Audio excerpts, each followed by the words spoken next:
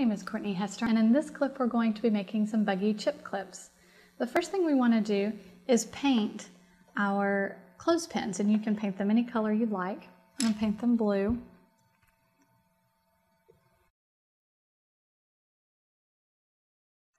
Anyway, and you do this all the way across the top and on the sides. And then you'll want to set them aside to dry for just a few minutes. Now, we've, now that we've let our clothespin dry, I'm ready to add a decoration to this.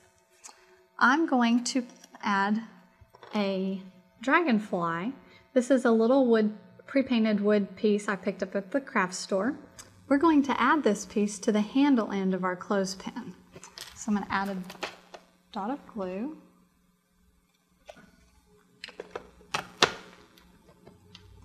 And then I'm going to press down. And then we'll want to let that dry for a minute. I want to make a set of these. So I've also painted two different, two more clothespins and picked up some more insect or bug type wood pieces to add to them. Okay.